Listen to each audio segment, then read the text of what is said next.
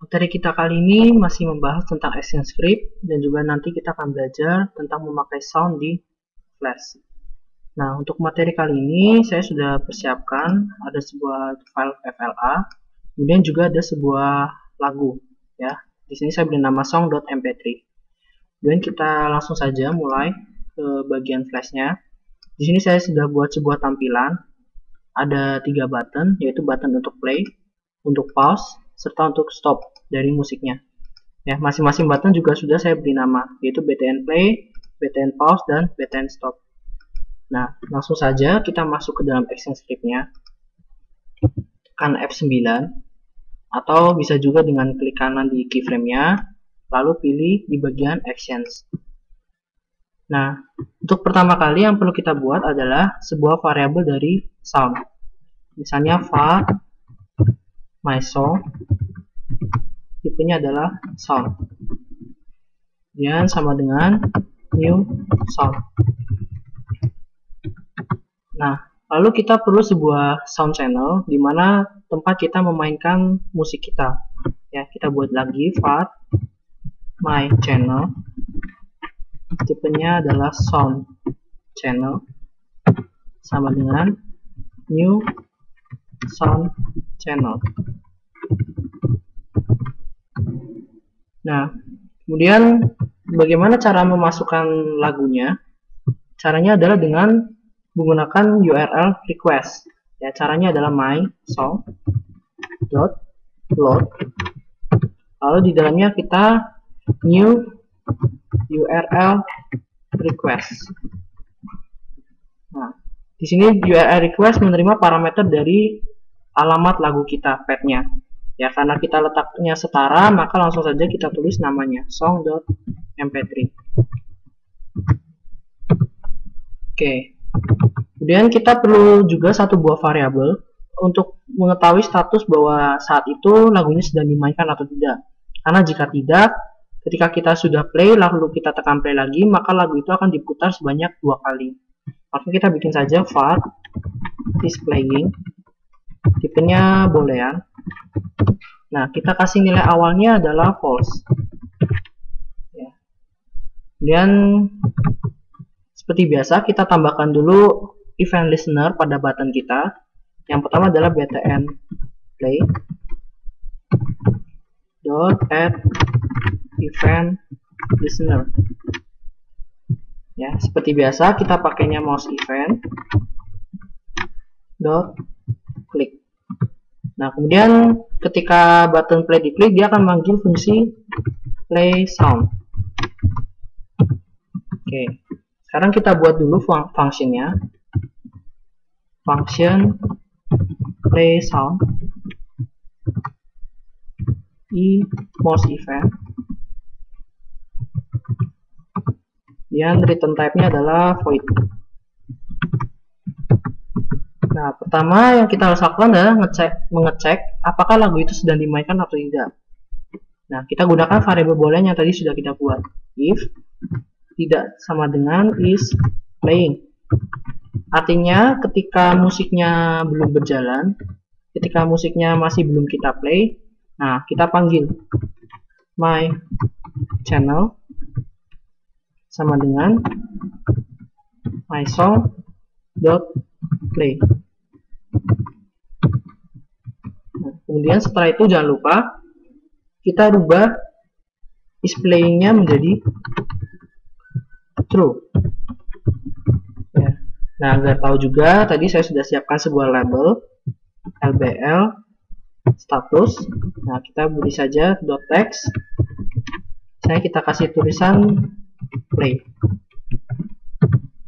Nah, Kemudian sekalian saja kita buat function untuk stopnya.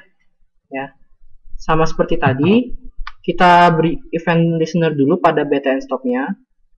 btn stop dot add event listener mouse event klik nah kita buat fungsi yang berbeda misalnya stop sound. Nah, kita buat saja function stop soundnya. Function stop sound. Oke okay, mouse event. Return type-nya adalah void. Nah kemudian sama seperti play sound kita pertama cek dulu bahwa lagunya sudah berjalan. Karena kalau belum berjalan dia tidak bisa menjalankan fungsi stop ini. If is playing artinya ketika lagunya sedang berjalan nah bagaimana cara stopnya? Tinggal my channel dot stop. Channel dot stop. Nah kemudian jangan lupa uh, kita rubah nilainya displaying menjadi false. Dan yang terakhir kita tambahkan statusnya lbl status. Dot text saya kita beri stop. Oke sekarang kita coba dulu munculkan. Kita tekan play ya. Oke lagunya sudah muncul. Nah ketika ditekan stop maka lagunya akan mati. Nah sekarang yang kita akan buat selanjutnya adalah untuk pause nya nah untuk pause nya sendiri pertama kita butuh satu variabel lagi untuk menampung titik terakhir dari lagu yang dimainkan. Nah kita buat saja sebuah variabel baru. Var misalnya dur ya tipenya number ya, kita kasih aw, nilai awalnya 0 nah kita juga bikin sebuah variabel lagi. Is false. Tipenya boolean. Ya, nilai awalnya adalah false. Oke. Sama kita tambahkan action event listener dulu btn pause dot add event listener mouse event. Dot. Click kita beri nama pause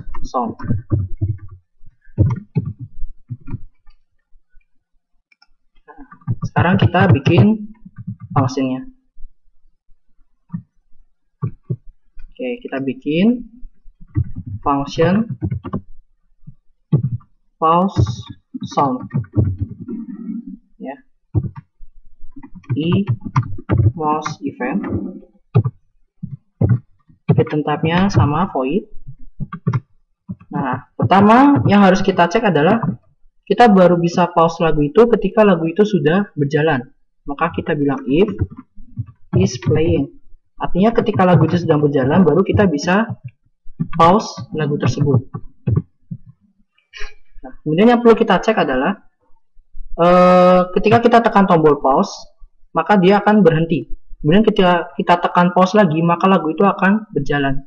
Jadi pertama kita cek dulu kalau dia belum di pause is pause tidak tidak sama dengan is pause. Nah yang kita lakukan adalah kita simpan titik terakhir dari lagu itu diputar ya. Caranya dengan mengisi ke dalam variabel dur yang sudah kita buat. Dur sama dengan my channel dot position. Nah kemudian kita stop lagunya sama my channel dot stop.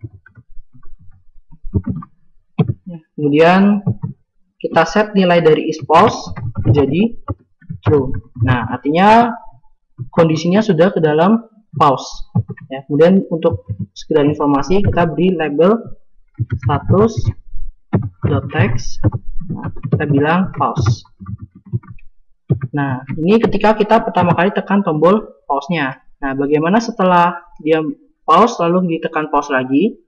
Nah else if is pause artinya ketika dia dalam kondisi pause nah yang perlu kita lakukan adalah kita play dari lagunya itu. My channel sama dengan my song dot play. Nah, kita playnya dari mana? Playnya dari durnya, dari durasinya. Jadi kita mulai dari lokasi terakhir dia di play ketika sebelum di pause. Ya. Ini jangan lupa kita set is pause-nya menjadi false. Ya, kemudian untuk informasi seperti biasa kita kasih di lbl status lbl status dot text sama dengan play. Nah, sekarang kita coba Pertama kita play, lalu kita tekan pause.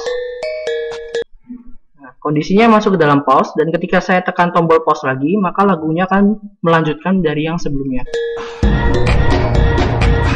Kita pause lagi, kita jalankan lagi.